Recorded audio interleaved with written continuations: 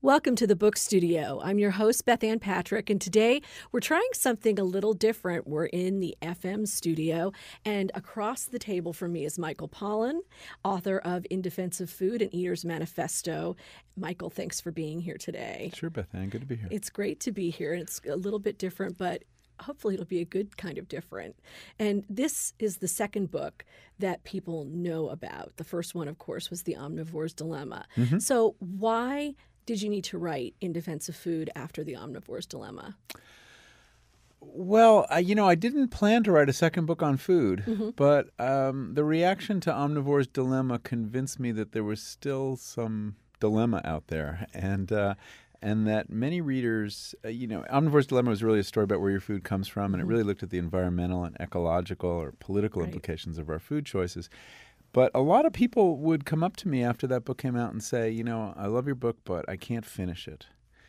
And that's not, that's always troubling to a writer to hear that. Why did they say they couldn't finish it? Well, they said, they explained that, um, you know, every time they turn the page, there's something else they can't eat anymore. Uh-huh. And they're afraid if they get to the end, they'll starve. And um, that was too bad. Um, so, but it also, as I as I would draw them out, it was clear that they that they that it was almost too much knowledge, too much information, and they really wanted somebody to kind of say, okay, now knowing all this, what should I eat? How should I eat? How should I eat for my health? And that really is, as much as people are interested in the environmental implications of food, mm-hmm. finally, they're interested in their personal health. Uh, implications of, of those food choices. So I set out to write a book that would just kind of explore the whole issue of what do we know about the links mm-hmm. between diet and health. And what I found was, uh, you know, in some ways we know a lot less than we think we know. That nutrition is still uh, a very primitive science in many ways. That was really interesting in the book. There's so many things that are unanswered. We don't know exactly why some foods have more nutrients than others. We don't know how those nutrients work or how they combine. It is primitive. Yeah. And, and one of the things that came up, I, I was thinking, you talk a great deal about eat food. In other words, things that aren't processed. But there are some benefits to processing. You do talk about things like fermenting and pickling and, and that kind of thing. But for many years, especially in the mid 20th century, people longed for processed food because spoilage was was a huge problem. Uh, yeah, exactly. And but there there's processing and there's processing. I think that mm-hmm. post World War II, we've kind of achieved a whole new threshold of what processing means. I mean, when you talk about fermentation or canning or mm-hmm. freezing, these are things that um, are, you know, we have long experience of biologically, culturally. Um, but when you start uh, making, you know, foods that are, you know, highly synthetic, um, that are you know preserved not through those kind of natural processes but through chemical processes um, you're talking about something different and also that that kind of let's call it that first order processing um, really preserves a lot of the nutritional value of what you start off with. Indeed, when you ferment foods, they get more valuable uh, very often. Um, you get, uh, you know, vitamin B12 when you ferment something, um, which might not have been in the food initially. You don't get that when you make a Twinkie. You don't get that. No, what happens when you process that that to, to, that extent is you lose nutrients. And so you have this uh, food industry that makes money the more it processes, the more uh, processing steps the more profitable the food becomes and the less nutritious. So, for example, if you start out with uh, you know a whole grain like oatmeal, and you know that's my one of my favorite breakfasts mm-hmm. is just oatmeal. Um, it's very nutritious. It's really cheap. I mean, I can buy a pound of rolled organic oats for 79, 89 cents. And a pound of oats is a lot of you oats. You get They're a lot of breakfast. You get a lot of breakfast. But it's hard to make money if you're General Mills selling that. Um, so what they do is let's turn it into Cheerios. And that level of processing, suddenly you're getting four or five bucks for a few ounces of oats. And you've you've lost some of the nutrients. So you then have to add them back in in the form of fortification. Wouldn't some people say, "Well, I like the texture of Cheerios yeah, better"? Yeah, and and that's fine. You know, I mean, I'm I'm not anti Cheerios. I think it's a it's a relatively wholesome food. It's it's it's as processing go, it's fairly simple, and you you know have milk on it. It's more convenient than making oats. But then go to the next step. You see now. Oat uh, now Cheerios are a commodity. You've got you know every store doing its own right. store brand. So what do they do next? Well, they go to the Honey Nut Cheerio cereal bar with the layer of synthetic milk going through That it. is one of the oddest foods I've ever it's seen. really odd. And, and, you know, once you get to that point, you're really in the realm of the candy more than the cereal. Well, it's true. So many of these bars really are candy I mean, I think we kid ourselves to think these things are health foods, and they're sold Yeah. as health foods. And um, but the point is that you know they get more and more expensive the more Mm-hmm. you process. And there's even one step beyond that now. I- I've started to see these cereal straws, Yes. and it's this extruded oatmeal material that your your kid is supposed to sip milk through.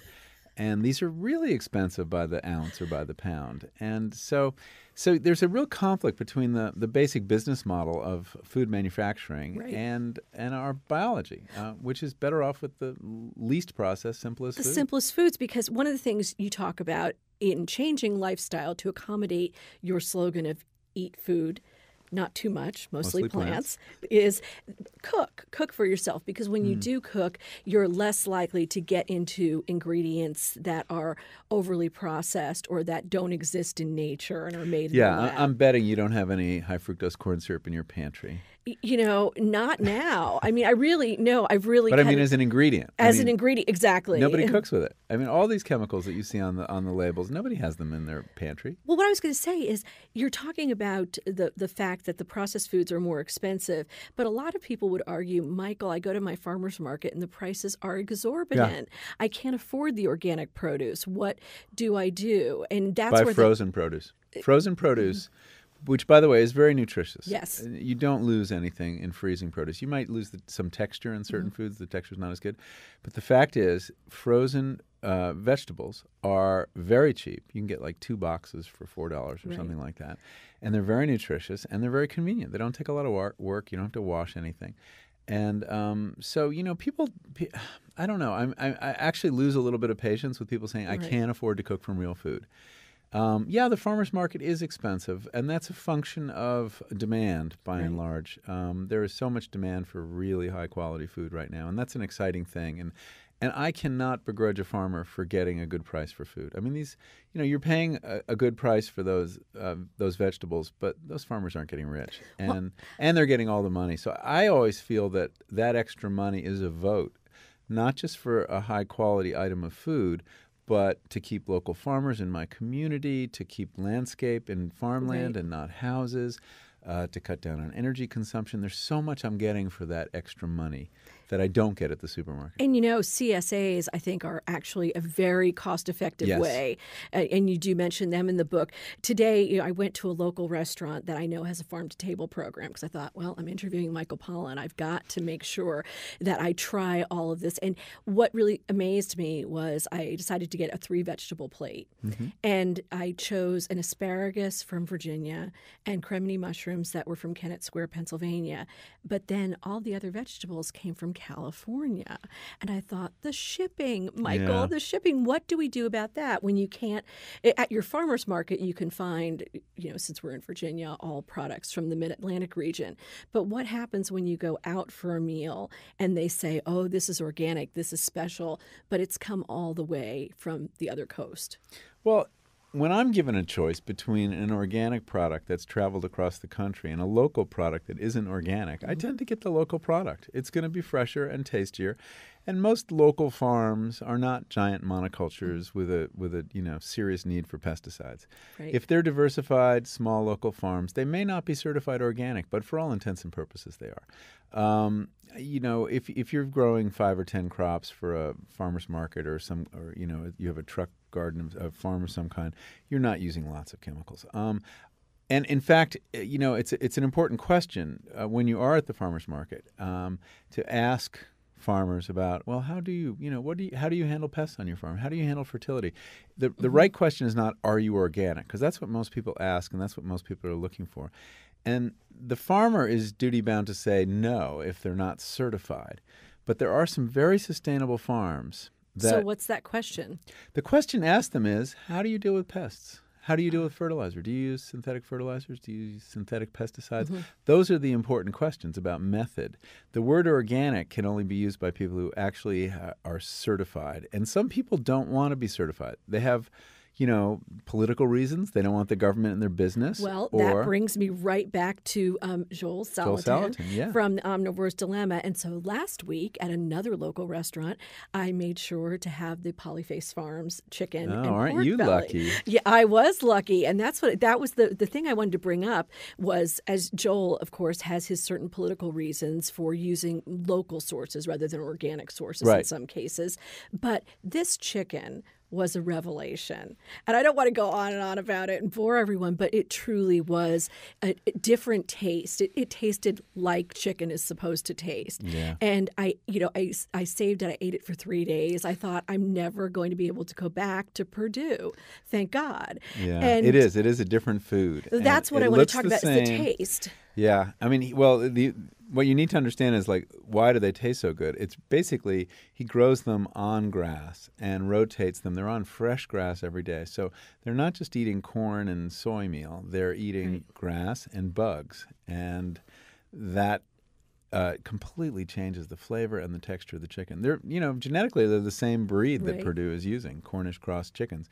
But the way he uh, raises them and the way he feeds them um, makes for a, uh, and I would I would venture the way he slaughters them too. It's a low stress, lower stress kind of situation. Um, makes for a really superior chicken. And um, anytime I have the opportunity to eat a pastured chicken, you know, which you're seeing more and more in the market, Right. and pastured eggs, uh, that is a product worth um, worth spending more for. And it's it's not comparable. You know, you look at pastured eggs might be four or five dollars or six dollars or seven dollars in the market, and eh, you know we're all outraged at that. We really feel like cheap food is a birthright. It should be eighty nine cents. Now that's a, a really good point because I think that Americans, post-war Americans, do believe that our milk, our eggs, our bread are supposed to be very, very cheap, and people in other parts of the world who spend so much more of their income, uh, the the Spanish, I think you have it's seventeen point one percent Yeah, and we spend nine point five percent. That's a big disparity. Well, our food has been sold to us on the basis of quantity rather than quality for a long time. And cheap food, you know, pile it high and sell it cheap is a slogan of a, uh, of a uh, supermarket chain around here. and, um, you know, that's an odd thing because we understand the connection between price and quality everywhere else. We understand when we're buying clothing, we understand when we buy a car. In fact, Joel tells this wonderful story of a, of a guy coming into his shop and complaining that his pastured eggs were three or four dollars a dozen. And Joel very politely points out the window and says, Is that your car? And the guy says, Yeah. He says, Well, sir, I see you. You understand quality. You've got a BMW out there. and, uh, you know, it's the same thing with eggs. You, you get what you pay for. It- and it's absolutely true. Absolutely true. And you know, what another thing that really fascinated me in, in defense of food is that it's not just the quality and the taste and sometimes the texture or whatever, but it's also the nutrients in the Yeah. older varieties. You talk about apples, and some of these strains, I um, like to buy apples in Charlottesville from a particular purveyor who has all kinds of heirloom, heirloom varieties. And you say, and you've done research on this, they have different and often better nutrients even when they're grown now alongside you know a Yeah. gala apple in tree side by side comparisons, many of the heirloom varieties have uh, much higher nutrient levels of various nutrients. And, and the example I think I cite is that uh, when it comes to zinc, a modern commercially grown apple, you have to have three of them to get the same zinc levels as you would get in, a, in an older one. It's not totally understood. It may be a function of breeding. It may be a function of soil. Um, we, we're, we're learning that soils that are, that are very well um, nourished uh, without chemical fertilizers. So, really complex living soils produce food that has more complexity and more nutrients in it. And um, so there is a there is a kind of virtue in those older varieties and in growing them organically, uh, whether you know technically organically or not, but without synthetic fertilizers. And we also know that over the last 50 years, the nutritional quality of much of our produce has declined by between 25 and 40 percent. And um, this is the USDA's own numbers. They've tracked this over the years. And it's not entirely understood why, but it may be about the soils, that over time our, our chemically treated soils are losing a lot of biological activity. It may be that we're breeding for he- yield rather than nutritional quality, because you can't select for everything. And if you're emphasizing redness in an apple or size in an apple or speed of growth in an you apple. can't emphasize zinc. Exactly. And you're not going to. And so we've lost something along the way.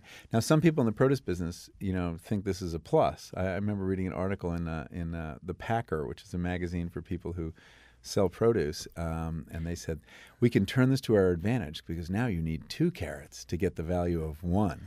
Oh. Yeah, there's a magazine for everyone. Isn't there? There really is. But that brings me to something, you know, you talk a lot about HFCS, high fructose corn syrup. And and about corn, of course, in the omnivore's dilemma, we, we all know corn is not quite the benign thing we thought it was. But if corn and soy are these incredibly adaptable plants that give this incredible yield, isn't there a way that food scientists could harness this for good and not for evil? well, to some extent, they have. I mean, you know, tofu and its mm-hmm. and its various permutations and and the fermented versions of it like tempeh and things like that. These are you know these are really good foods that you know over i mean it wasn't modern food science. We've been doing it for thousands of years i guess in the case of tofu that there are good foods that can be made from these things. Um, and posole, from corn as well. posole from corn and polenta. and polenta. Yeah you know corn meal i mean so there are ways to process corn and soy that make very nutritious food. I mean you look if you want to get carbohydrates or protein or fats off off the land, these are good crops for it. We've been breeding for yield. We have not been breeding for nutritional value. And if you if you want good tortillas, you're not going to you know make them out of number two commodity corn. Right. You're going to use you know some of the older white corn varieties. And um, but you know, I guess you can imagine a food science that is making better food than ours is, but it depends. You know, there is there is this phenomenon, which is that food science doesn't yet know how to synthesize foods well. Um, right. Because it too is fairly primitive. And our bodies know what to do with something like corn because we have been with corn for thousands of years and our bodies know how to take nutrients from it and make very good use of it. Our bodies have only been exposed to high fructose corn syrup for a very short amount of time and our bodies are fooled by it and overwhelmed by it very often.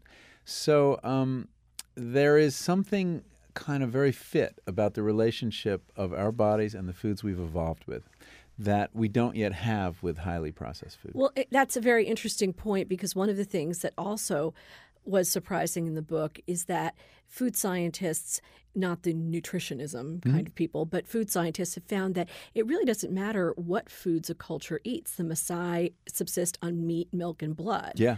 And they're fine, and, and they don't have the kinds of problems that we found in the Western diet. So, I, I, and other cultures on all plants. On all plants, or and some on all fat. I mean, mm-hmm. the Inuit, you know, eat seal blubber basically. You know, it's a it's a ninety percent fat diet. They have some interesting recipes. So. Yeah. I'm less tempted by their diet than some others. But but the the point is that you know humans don't have one ideal diet. We have shown ourselves to be well adapted to a great many different foods. Whatever nature has to offer on six of the seven continents, we have been able to make a healthy diet from. It's quite it's quite extraordinary. The one diet that we seem to be very ill adapted to is this industrial Western diet that most of us are eating. So, what an achievement for a civilization to come up with the one way to feed itself that kills itself pretty that reliably. leaves us overfed and undernourished. Yes, and and suffering from the, this whole range of chronic diseases. You know, these diseases, heart disease, uh, forty uh, percent of cancers, type two diabetes, obesity, these do not exist in these uh, cultures eating traditional diets. And I know we, there is so much more that we could go into, and I, I know I have to wrap it up, but do you have your own garden now? Oh yeah, yeah. I uh, I I've been gardening uh, on and off since I was a boy, mm-hmm. but um, since I moved to California, uh, I have a very small garden. I have three raised beds in the front yard, and um, yeah, gardening is a is a you know one of my favorite kind of pastimes to uh, get away from the word processor. it uh, definitely does not cause the carpal tunnel. You know? No, it's a whole different set of skills, and you know it's it's it's kind of a wonderful, meditative, low stress, and and not perfectionistic thing. I mean, in other words, there's such a great margin of error in gardening. You really can't screw up too badly. and um, so I find it a very relaxing way to spend So- time. And it's it's stunning how much food you can get out of a small plant, uh, a small plot of land. I mean, people who complain about the the price of fresh local produce, well, try growing a little bit yourself. You'll find it's very cheap. So eat food, Not too much. mostly, plants. Excellent. It's In Defense of Food, an Eater's Manifesto by Michael Pollan, and it is from Penguin right now, out in paperback. Michael, thank you so much for being here. Oh, you're welcome, Bethanne. It was good to be here. Join us next time on the Book Studio.